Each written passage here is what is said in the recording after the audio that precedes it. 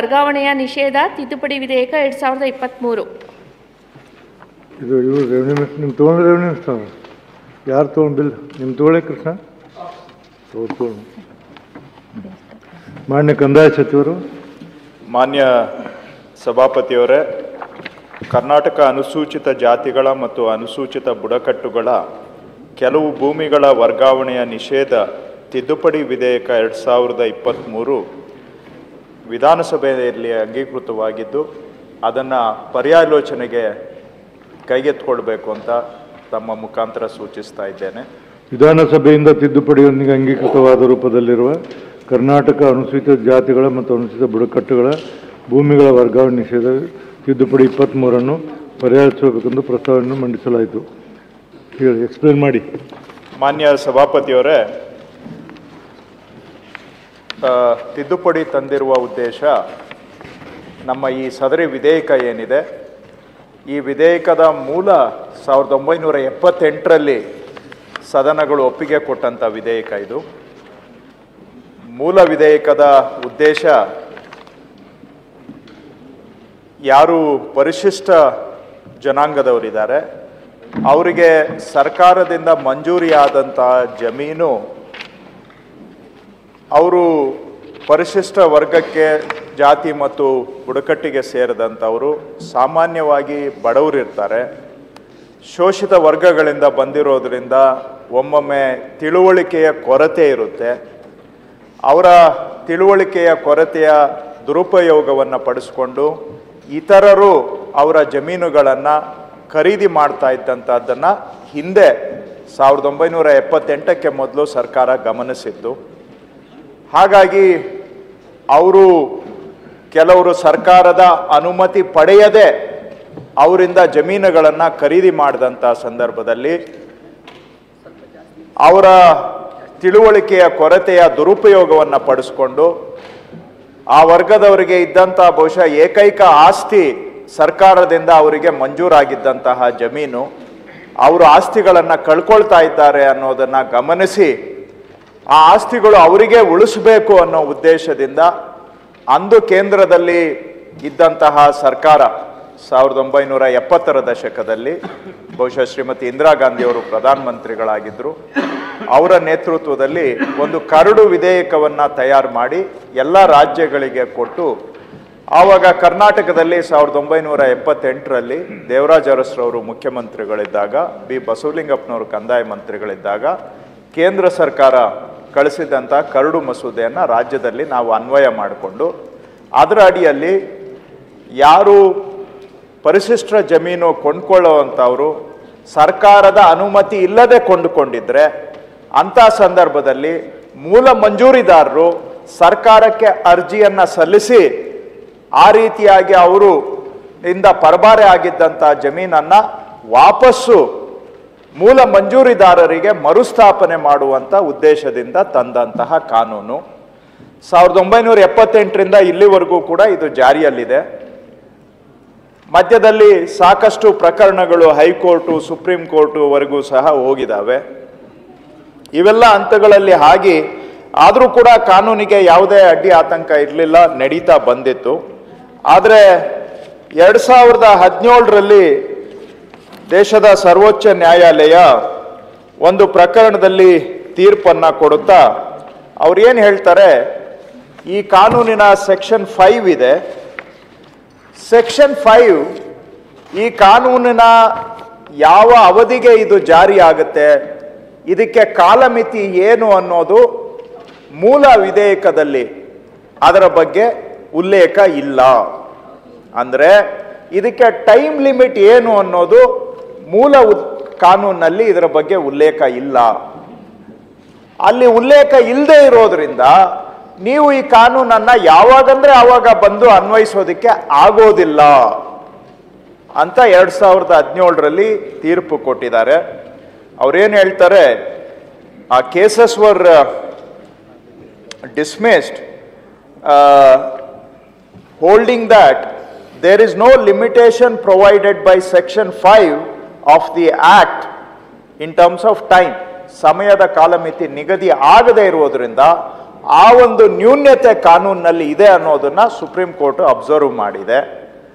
ಎರಡ್ ಸಾವಿರದ ಹದಿನೇಳರಲ್ಲಿ ಬಂದ ನಂತರ ಈ ಸುಪ್ರೀಂ ಕೋರ್ಟ್ ಸೈಟೇಷನ್ ಅನ್ನ ಮಾಡಿ ಅನೇಕ ದಲಿತ ವರ್ಗಕ್ಕೆ ಸೇರಿದಂತಹ ಜಮೀನುಗಳು ಅವರು ಅರ್ಜಿ ಹಾಕ್ಕೊಂಡಿದ್ದಂಥವರು, ಅವರಿಗೆ ಇದರಲ್ಲಿ ಅನುಕೂಲ ಈ ಕಾನೂನಿನ ಅನುಕೂಲ ಪಡೆಯುವಂತಹದ್ದು ಕಷ್ಟ ಆಗ್ತಾ ಇದೆ, ದಿನೇ ದಿನೇ. ಹಾಗಾಗಿ ಎರಡ್ ಸಾವಿರದ ಹದಿನೇಳರಿಂದ ಪರಿಶಿಷ್ಟ ವರ್ಗಕ್ಕೆ ಸೇರಿದಂಥ ಜನಗಳು ನಿರಂತರವಾಗಿ ಹೋರಾಟ ಮಾಡ್ತಾ ಇದ್ದಾರೆ. ಮೂಲ ಕಾನೂನಿನ ಈ ನ್ಯೂನ್ಯತೆಯನ್ನು ಸರಿಪಡಿಸಬೇಕು ಅಂತೇಳಿ ಅಂತ. ಅದು ಇಲ್ಲಿವರೆಗೂ ಕೂಡ ಆ ತಿದ್ದುಪಡಿ ಆಗಿರಲಿಲ್ಲ. ಅವರು, ಕಳೆದ ಸರ್ಕಾರದ ಅವಧಿಯಲ್ಲೂ ಕೂಡ ಈ ತಿದ್ದುಪಡಿ ಮಾಡಬೇಕು ಅಂತ ಒತ್ತಾಯ ಮಾಡಿದ್ರು. ಈ ಹಿಂದೆ ಇದ್ದಂಥ ಸರ್ಕಾರ ತಿದ್ದುಪಡಿ ಮಾಡ್ತೀವಿ ಅಂತ ಹೇಳ್ಕೊಂಡೇ ನಾಲ್ಕು ವರ್ಷ ಕಳೆದ್ರು ಮಾಡಲಿಲ್ಲ. ಕೊನೆಗೆ ಫೆಬ್ರವರಿ ತಿಂಗಳಿನಲ್ಲಿ ಅವರು ಮಂಡನೆ ಮಾಡಿದಂಥ ಬಜೆಟ್ನಲ್ಲಿ ಪ್ಯಾರಾಗ್ರಾಫ್ ನೂರ ಅರವತ್ತರಲ್ಲಿ ಈ ಪಿ ಟಿ ಸಿ ಎಲ್ ಕಾಯ್ದೆಗೆ ತಿದ್ದುಪಡಿ ತರ್ತೀವಿ ಅಂತ ಎಲ್ಲ ನಾಲ್ಕು ವರ್ಷ ಸರ್ಕಾರ ಮಾಡಿ ಹೋಗೋ ಟೈಮಲ್ಲಿ ಸುಮ್ಮನೆ ಬಜೆಟಲ್ಲಿ ಘೋಷಣೆ ಮಾಡಿ ಹೋದರು. ಆದರೆ ನಾಲ್ಕು ವರ್ಷ ಅಧಿಕಾರದಲ್ಲಿ ಕೂತಿದ್ದಾಗ ಪರಿಶಿಷ್ಟರಿಗೆ ನ್ಯಾಯ ಕೊಡುವಂಥ ಕೆಲಸ ಅವರು ಮಾಡಲಿಲ್ಲ. ಆದರೆ ನಮ್ಮ ಸರ್ಕಾರ ನಾವು ಚುನಾವಣೆಗೆ ಮೊದಲೇ ನಮ್ಮ ಪಕ್ಷ ಮಾತು ಕೊಟ್ಟಿದ್ವಿ. ನಮ್ಮ ಸರ್ಕಾರ ಬಂದ ಕೂಡಲೇ ಮೂಲ ಕಾನೂನಿಗೆ ತಿದ್ದುಪಡಿಯನ್ನು ತಗೊಂಡು ಬಂದು ಈ ಕಾಲಮಿತಿ ಅದರ ಬಗ್ಗೆ ಏನು ನ್ಯೂನ್ಯತೆ ಇದೆ ಅದನ್ನು ಸರಿಪಡಿಸ್ತೇವೆ ಅನ್ನುವಂಥ ಮಾತನ್ನು ನಾವು ಕೊಟ್ಟಿದ್ವಿ. ಚಿತ್ರದುರ್ಗದಲ್ಲೂ ಕೂಡ ನಾವು ಪರಿಶಿಷ್ಟ ಜನಗಳ ಒಂದು ಸಮಾವೇಶವನ್ನು ಮಾಡಿ ಅಲ್ಲೂ ಘೋಷಣೆ ಮಾಡಿದ್ವಿ. ನಮ್ಮ ಇಂದಿನ ಮುಖ್ಯಮಂತ್ರಿಗಳು, ಅಂದು ನಮ್ಮ ಪಕ್ಷದ ನಾಯಕರಾಗಿದ್ದಂಥ ಮಾನ್ಯ ಸಿದ್ದರಾಮಯ್ಯನವರು, ನಮ್ಮ ಪಕ್ಷದ ಅಧ್ಯಕ್ಷರಾಗಿದ್ದಂಥ ಡಿ ಕೆ ಶಿವಕುಮಾರ್ ಅವರು ಮತ್ತು ಎ, ನಮ್ಮ ಪಕ್ಷದ ರಾಷ್ಟ್ರೀಯ ಮಟ್ಟದಲ್ಲಿ ನಮ್ಮ ಸರ್ಕಾರ ಬಂದ ಕೂಡಲೇ ಈ ನ್ಯೂನ್ಯತೆಯನ್ನು ಸರಿಪಡಿಸ್ತೇವೆ, ಕಾನೂನಿಗೆ ತಿದ್ದುಪಡಿ ಕೊಡ್ತೇ, ಮಾಡ್ತೇವೆ ಅನ್ನುವಂಥ ಮಾತನ್ನು ನಾವು ಶೋಷಿತ ಸಮುದಾಯಗಳಿಗೆ ಕೊಟ್ಟಿದ್ವಿ. ನಾವು ಕೊಟ್ಟ ಮಾತನ್ನು ಉಳಿಸ್ಕೊಳ್ಳಬೇಕು ಅನ್ನೋ ಉದ್ದೇಶದಿಂದ ನಮ್ಮ ಸರ್ಕಾರದ ಮೊದಲನೇ ಅಧಿವೇಶನದಲ್ಲೇ ಈ ತಿದ್ದುಪಡಿಯನ್ನು ತಂದು, ಈ ನ್ಯೂನ್ಯತೆಯನ್ನು ಸರಿಪಡಿಸಿ ಪರಿಶಿಷ್ಟರಿಗೆ ನ್ಯಾಯವನ್ನು ಕೊಡುವಂಥ ಕೆಲಸವನ್ನು ನಾವು ಮಾಡ್ತಾ ಇದ್ದೇವೆ ಮಾನ್ಯ ಸಭಾಪತಿಗಳೇ. ಈ ಸೆಕ್ಷನ್ ಫೈವ್ಗೆ ನಾವು ತಂದಿರುವಂಥ ತಿದ್ದುಪಡಿ there shall be there shall be no limitation of time to invoke the provisions of this act ಅನ್ನುವಂಥ ತಿದ್ದುಪಡಿಯನ್ನು ತಂದಿದ್ದೇವೆ. ಇದರಿಂದ ಆ ಕಾನೂನಿನ ನ್ಯೂನ್ಯತೆಯನ್ನು ಸರಿಪಡಿಸಿ ಅದು ಮೂಲ ಆ್ಯಕ್ಟ್ನಲ್ಲೇ ಅವ್ರು ಯಾವತ್ತು ಬೇಕಾದರೂ ಪ್ರಶ್ನೆ ಮಾಡಬಹುದು ಯಾವತ್ತು ಬೇಕಾದರೂ ಅಪೀಲ್ ಹಾಕಿ ರಿಸ್ಟೋರೇಷನ್ ಮಾಡ್ಕೊಳ್ಬೋದು ಅನ್ನೋದು ಮೂಲ ಕಾನೂನೇ ಕೊಟ್ಟಿದೆ. ಆದರೆ ಅಪೀಲ್ ಹಾಕ್ಕೊಳ್ಳೋದಕ್ಕೆ ಏನು ಟೈಮ್ ಲಿಮಿಟ್ಟು ಅನ್ನೋದು ಸ್ಪಷ್ಟತೆ ಇರಲಿಲ್ಲ. ಆದರೆ ಮೂಲ ಕಾನೂನಿನ ಉದ್ದೇಶ ಏನಿತ್ತು? ಯಾವತ್ತು ಬೇಕಾದರೂ ಅವರು ಅಪೀಲ್ ಹಾಕೋಬಹುದು ಅನ್ನೋದೇ ಇತ್ತು. ಯಾವುದಕ್ಕೆ? ಸರ್ಕಾರದ ಅನುಮತಿ ಪಡೆಯದೆ ಪರಬಾರೆ ಆಗಿದ್ದಲ್ಲಿ ಅಂತದಕ್ಕೆ ರಿಸ್ಟೋರೇಷನ್ಗೆ ಯಾವತ್ತು ಬೇಕಾದರೂ ಅರ್ಜಿ ಹಾಕೋಬಹುದು ಅನ್ನೋದೇ ಸಾರಾಂಶ, ಮೂಲ ಕಾನೂನಿನ ಉದ್ದೇಶನೇ ಅದು. ಆದರೆ ಎಲ್ಲೂ ಸ್ಪಷ್ಟವಾಗಿ ಉಲ್ಲೇಖ ಇರಲಿಲ್ಲ ಅಷ್ಟೇ. ಅದು ಒಂದು ಲ್ಯಾಕ್ಯೂನ ಅನ್ನೋದನ್ನ ಅಬ್ಸರ್ವ್ ಮಾಡಿದ್ದಾರೆ. ಸೊ ಆ ನ್ಯೂನ್ಯತೆಯನ್ನ ಈ ತಿದ್ದುಪಡಿ ಮುಖಾಂತರ ನಾವು ಸರಿಪಡಿಸ್ತಾ ಇದ್ದೇವೆ. ಅವರು ಯಾವತ್ತು ಬೇಕಾದರೂ ಇದನ್ನ ಪ್ರಶ್ನೆ ಮಾಡಬಹುದು. ಅವರಿಗೆ ನ್ಯಾಯ ಕೊಡಬಹುದು ಅನ್ನುವಂಥದ್ದನ್ನು ತಗೊಂಡು ಬಂದಿದ್ದೇವೆ. ಮತ್ತು ಇದು ಮಾನ್ಯ ಮುಖ್ಯಮಂತ್ರಿಗಳು ಅವರ ಆಯವ್ಯದಲ್ಲೂ ಕೂಡ ನಾವು ಘೋಷಣೆ ಮಾಡಿದ್ದಾರೆ. ಈಗ ಇನ್ನು ಈ ಸದನ ಇವತ್ತು ಅವರ ಆಯವ್ಯಕ್ಕೆ ಒಪ್ಪಿಗೆಯನ್ನು ಕೊಡುವಂತಹದ್ದು ಇದೆ. ಅವರು ಘೋಷಣೆ ಮಾಡಿದ ಕೂಡಲೇ ನಾವು ಇದನ್ನು ಎರಡು ಮೂರು ವರ್ಷ ಎಳೆದು ಯಾವಾಗೋ ಮಾಡ್ಬೋದಾಗಿತ್ತು. ಆದರೆ ನಾವು ಮಾತು ಕೊಟ್ಟಿದ್ದೇವೆ. ಕೊಟ್ಟ ಮಾತಿನಂತೆ ನಡೀಬೇಕು. ಯಾಕಂದರೆ ನಮ್ಮ ಮುಖ್ಯಮಂತ್ರಿಗಳು ಸದಾ ಹೇಳ್ತಾರೆ, ನಮ್ಮದು ನುಡಿದಂತೆ ನಡೆಯುವ ಸರ್ಕಾರ ಅಂಥೇಳಿ. ಕೊಟ್ಟ ಮಾತನ್ನು ಉಳಿಸ್ಕೊಳ್ಬೇಕು ಅನ್ನೋ ಉದ್ದೇಶದಿಂದ ನಮ್ಮ ಸರ್ಕಾರದ ಮೊದಲನೇ ಅಧಿವೇಶನದಲ್ಲೇ ಇದನ್ನು ಜಾರಿಗೆ ತರುವಂಥ ಕೆಲಸವನ್ನು ನಾವು ಮಾಡ್ತಾ ಇದ್ದೇವೆ. ಇದು ಕೆಲವರು ಇದ್ರ ಬಗ್ಗೆ ಗೊಂದಲಗಳು ಇಟ್ಕೊಂಡಿದ್ದಾರೆ ಮಾನ್ಯ ಸಭಾಪತಿಯವರೇ. ಯಾರಾದರೂ ಸರ್ಕಾರದ ಅನುಮತಿ ತೆಗೆದುಕೊಂಡು ಪರಬಾರೆ ಮಾಡೋದಕ್ಕೆ ಯಾವುದೇ ಅಡ್ಡಿ ಆತಂಕ ಇಲ್ಲ. ನಿಯಮಾನುಸಾರವಾಗಿ ಅನುಮತಿ ತೆಗೆದುಕೊಳ್ಬೋದು ಪರಬಾರೆ ಮಾಡಲೂಬಹುದು. ಅದಕ್ಕೆ ನಾವು ಅಡ್ಡಿ ಆತಂಕ ಮಾಡ್ತಾ ಇಲ್ಲ. ಅಥವಾ ಇದು ಹೊಸದಾಗಿ ತಂದಿರುವಂಥ ಕಾನೂನು ಅಲ್ಲ. ಸಾವಿರದ ಒಂಬೈನೂರ ಎಪ್ಪತ್ತೆಂಟರಿಂದ ಇರುವಂತಹ ಕಾನೂನು. ಅದರೊಳಗಡೆ ಗೊಂದಲ ಇತ್ತು. ಗೊಂದಲಕ್ಕೆ ಸ್ಪಷ್ಟತೆಯನ್ನು ಕೊಡ್ತಾ ಇದ್ದೇವೆ. ಮತ್ತು ಮೂರನೇ ಪ್ರಶ್ನೆ, ಇದು ಯಾವ ಪ್ರಕರಣಗಳಿಗೆ ಜಾರಿ ಆಗುತ್ತೆ ಅನ್ನುವಂಥದ್ದು ಬಹುಶಃ ಕೆಲವು ಸದಸ್ಯರ ಮನಸ್ಸಿನಲ್ಲಿ ಇರಬಹುದು. ನಾವು ಅದನ್ನು ಸೆಕ್ಷನ್ ಒನ್ನಲ್ಲಿ ಡಿ ಸೇರಿಸಿದ್ದೇವೆ. ಅದರಲ್ಲಿ ಇದೇನು ಹೇಳುತ್ತೆ ಅಂತ ಹೇಳಿದ್ರೆ, ಹಾಲಿ ಬಾಕಿ ಇರತಕ್ಕಂಥ ಪ್ರಕರಣಗಳು. ಅದು ಎ ಸಿ ಕೋರ್ಟಲ್ಲಿ ಆಗ್ಬೋದು, ಡಿ ಸಿ ಕೋರ್ಟಲ್ಲಿ ಆಗ್ಬೋದು, ಹೈಕೋರ್ಟಲ್ಲಿ ಆಗ್ಬೋದು. ಬಾಕಿ ಇರುವಂಥ ಪ್ರಕರಣಗಳಿಗೆ ಇದು ಲಾಗು ಆಗುತ್ತೆ ಈ ತಿದ್ದುಪಡಿ. ಯಾವುದಾದ್ರೂ ಹಿಂದೆ ಇತ್ಯರ್ಥ ಆಗಿರುವಂಥ ಪ್ರಕರಣಗಳು, ಅವುಗಳು ಕಾನೂನಾತ್ಮಕವಾಗಿ ತಾರ್ಕಿಕ ಅಂತ್ಯಕ್ಕೆ ಹೋಗಿದ್ದಲ್ಲಿ if they have attained legal finality ಅಂಥವುಗಳಿಗೆ ನಾವು ಅಪ್ಲೈ ಮಾಡೋಕ್ಕಾಗೋದಿಲ್ಲ ಆದರೆ ಯಾವ ಪ್ರಕರಣಗಳು ಪೆಂಡಿಂಗ್ ಇದ್ದಾವೆ ಎ ಸಿ ಕೋರ್ಟ್ ಆದ, ಆದೇಶ ಆದಮೇಲೆ ಡಿ ಸಿಗೆ ಹೋಗುತ್ತೆ ಡಿ ಸಿ ಆದಮೇಲೆ ಹೈಕೋರ್ಟ್ಗೆ ಹೋಗುತ್ತೆ. ಯಾವುದೇ ಸ್ಟೇಜಲ್ಲಿ ಪೆಂಡಿಂಗ್ ಇದ್ದರೂ ಕೂಡ, ಅಥವಾ ಈಗ ವಿತಿನ್ ದ ಅಪೀಲ್ ಟೈಮ್ ಇದ್ದರೂ ಕೂಡ, ಅವರೆಲ್ಲರಿಗೂ ಈ ಕಾನೂನಿನ ತಿದ್ದುಪಡಿಯ ನೆರವು ಅವರಿಗೆ ಸಿಗುತ್ತೆ. ಇದು ಶೋಷಿತ ಸಮುದಾಯದವರಿಗೆ ಅವ್ರಿಗೆ ಹಿಂದೆ ಮಾಡಿರುವಂಥ ಕಾನೂನಿನ ಅನುಕೂಲ ಸಿಗಬೇಕು ಅನ್ನೋ ಉದ್ದೇಶಕ್ಕೆ ತೆಗೆದು ಬಂದ್ಕೊಂಡು ಬಂದಿರುವಂಥ ತಿದ್ದುಪಡಿ. ಇದಕ್ಕೆ ಸದನ ಅನುಮತಿಯನ್ನು ಅನುಮತಿಯನ್ನ ಕೊಡಬೇಕು ಅಂತ ನಾನು ತಮ್ಮ ಮುಖಾಂತರ ಗೌರವಯುತವಾಗಿ ಮನವಿ ಮಾಡ್ತೇನೆ. ಸನ್ಮಾನ್ಯ ಸಭಾಪತಿಗಳೇ ಅನುಸೂಚಿತ ಜಾತಿಗಳು ಮತ್ತು ಅನುಸೂಚಿತ ಬುಡಕಟ್ಟು ಪಂಗಡಗಳಿಗೆ ಈ ಒಂದು ತಿದ್ದುಪಡಿ ವಿಧೇಯಕದಲ್ಲಿ ಆ, ಸೆಕ್ಷನ್ ಐದನಲ್ಲಿ ತಿದ್ದುಪಡಿ ತಂದಿದ್ದೀವಿ ಅಂತ ಮಾನ್ಯ ಸಚಿವರು ವಿವರಣೆ ಕೊಟ್ಟಿದ್ದಾರೆ. ಆದರೆ ಅನುಮತಿ ಪಡೆಯದೇ ಮಾರಾಟ ಮಾಡಿರೋರಿಗೆ ಮಾತ್ರ ಇದು ಅನ್ವಯ ಆಗೋದು. ಈಗ ಅನುಮತಿ ಪಡ್ಕೊಂಡು ಮಾರಾಟ ಮಾಡಿರೋರು ಭಾಳ ಸಂಖ್ಯೆ ಇದ್ದಾರೆ. ಭಾಳ ಸಂಖ್ಯೆ ಇದ್ದಾರೆ. ಆ ಅನುಮತಿ ಪಡ್ಕೊಳ್ಳುವಲ್ಲೂ ಕೂಡ ಸಾಕಷ್ಟು ಲೋಪದೋಷಗಳಿದೆ ಅಂತಕ್ಕಂಥದ್ದನ್ನು ಅಧಿಕಾರಿಗಳ ಮುಂದೆ ತಪ್ಪು ಅಫಿಡವಿಟ್ ಕೊಟ್ಟು ಅಸತ್ಯವಾದಂಥ ವಿಚಾರಗಳನ್ನು ಹೇಳಿ ಅವರು ಅನುಮತಿಯನ್ನು ಪಡ್ಕೊಳ್ತಾ ಇರ್ತಕ್ಕಂಥದ್ದು, ಮಾರಾಟ ಮಾಡ್ತಾ ಇರ್ತಕ್ಕಂಥದ್ದು ಬರೀ ಹಚ್ಚಿದೆ ಇವತ್ತು. ಯಾಕೆಂತ ಹೇಳಿದ್ರೆ ತಾವು ಹದಿನೈದು ವರ್ಷನೋ ಎಷ್ಟೋ ಒಂದು ಲಿಮಿಟೇಷನ್ ಕೊಟ್ಟಿದ್ದೀರಿ. ಅದರ ನಂತರ ಮಾರಾಟ ಮಾಡ್ಬೋದು. ಆದರೂ ಕೂಡ ಸರ್ಕಾರದ ಅನುಮತಿ ಇಲ್ಲದೆ ಮಾರಾಟ ಮಾಡಬಾರ್ದು ಅನ್ನೋದು ಇದೆ. ಆ ಅನುಮತಿ ತೆಗೆದುಕೊಳ್ಳುವಾಗ ಅಸಿಸ್ಟೆಂಟ್ ಕಮಿಷನರ್ ಕಚೇರಿನಲ್ಲಿ ಜಿಲ್ಲಾಧಿಕಾರಿಗಳ ಕಚೇರಿನಲ್ಲಿ ಏನೆಲ್ಲ ಅನಿವಾರ್ಯತೆಗಳನ್ನು ಹೇಳ್ಕೊಂಡು ಅನುಮತಿ ತಗೊಂಡು ಮಾರಾಟ ಮಾಡ್ತಾ ಇರ್ತಕ್ಕಂಥದ್ದು ಭಾಳ ಸಂಖ್ಯೆ ಇದೆ. ಇದನ್ನು ಕೂಡ ಸ್ವಲ್ಪ ಯಾಕೆ ಅಂತ ಹೇಳಿದರೆ ಈ ಶೋಷಿತ ವರ್ಗಕ್ಕೆ ಸರ್ಕಾರಗಳು ಅಂದಿನ ಕಾಲದಲ್ಲಿ ಶ್ರೀಮತಿ ಇಂದಿರಾ ಗಾಂಧಿಯವರು ಮೊಟ್ಟ ಮೊದಲಿಗೆ ಈ ದೇಶದಲ್ಲಿರ್ತಕ್ಕಂಥ ಈ ವರ್ಗದ ಜನರಿಗೆ ಭೂಮಿ ಕೊಡಬೇಕು, ಅವರ ಜೀವನ ಸಂರಕ್ಷಣೆ ಮಾಡಬೇಕು, ಅವರನ್ನು ಆರ್ಥಿಕವಾಗಿ ಸಬಲರನ್ನಾಗಿ ಮಾಡಬೇಕು ಅಂತಕ್ಕಂಥ ಏನು ಈ ಭಾಳ ಕಾಯ್ದೆ ತಗೊಂಡ್ಬಂದ್ರು ಇದರಲ್ಲಿ ಇವತ್ತು ಒಂದು ಸೆಕ್ಷನ್ಗೆ ಸುಪ್ರೀಂ ಕೋರ್ಟಿಂದ ಆಕ್ಷೇಪಣೆ ಬಂದದ್ರಿಂದ, ಈ ಟೈಮ್ ಲಿಮಿಟೇಷನ್ ಇಲ್ಲ ಅಂತಕ್ಕಂಥದ್ದನ್ನು ಪ್ರಶ್ನೆ ಬಂದದ್ರಿಂದ ತಾವು ಈ ತಿದ್ದುಪಡಿನ ತಂದಿದ್ದೀರಿ. ಆದರೆ ಈ ತಿದ್ದುಪಡಿ ಪ್ರಕಾರ ಯಾರ್ಯಾರಿಗೆ ಅನ್ವಯ ಆಗ್ತದೆ ಅನ್ನೋದನ್ನು ಕೂಡ ತಾವು ವಿವರಣೆ ಕೊಟ್ಟಿದ್ದೀರಿ. ಈಗಲೂ ಕೂಡ ಅವರು ಅಂಥವ್ರು ಯಾರಾದರೂ ಕೂಡ ಅನ್ಯಾಯಕ್ಕೊಳಗಾಗಿದ್ರೆ ಮತ್ತೆ ಅವರು ಕೇಳ್ಬೋದು. ಅದಕ್ಕೇನು ಲಿಮಿಟೇಷನ್ ಇಲ್ಲ ಅಂತ ಕೂಡ ಹೇಳಿದ್ದೀರಿ.